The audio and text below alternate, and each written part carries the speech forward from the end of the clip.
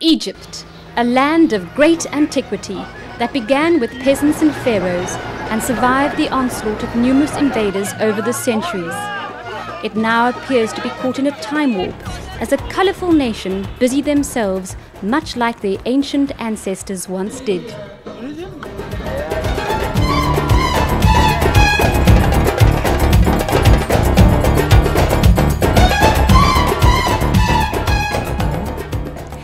A wonder of the world and constant reminder of the powerful pharaonic period, the looming Great Pyramids of Giza are guarded by the mysterious Sphinx.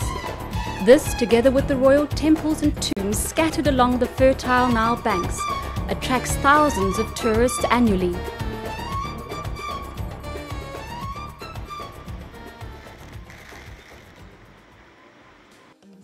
But the greatest attraction of all is scuba diving in the Red Sea. Rated as one of the top 10 dive sites of the world, divers from around the globe come to experience its pristine waters. Diving from luxury dive boats where a high standard amongst dive operators is maintained adds to the experience. Beneath the surface, the surrounding arid desert is forgotten and a colourful water wonderland evolves. A combination of warm water, excellent clarity, endemic species, and abundant marine life ensures superb diving.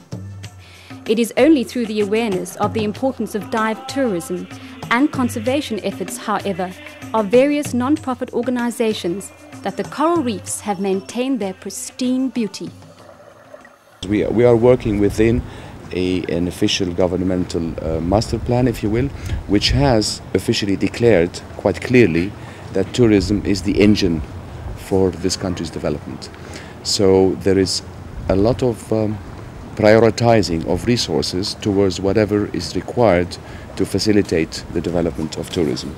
And now with the association we are now able to demonstrate and voice that diving and diving related activities are in fact a, an independent, standalone, major part of the whole tourism um, uh, industry, which is what's happening now.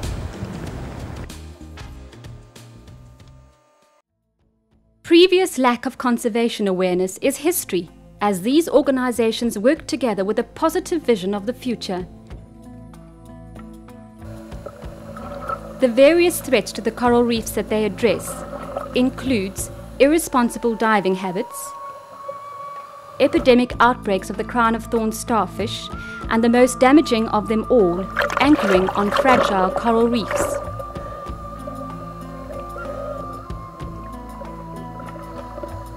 HEPCA, in the mooring installation and maintenance project, currently the largest of its kind with close to 500 moorings already installed, has proved invaluable in protecting the Red Sea's delicate and diverse ecosystem thus ensuring it remains one of the best dive destinations in the world.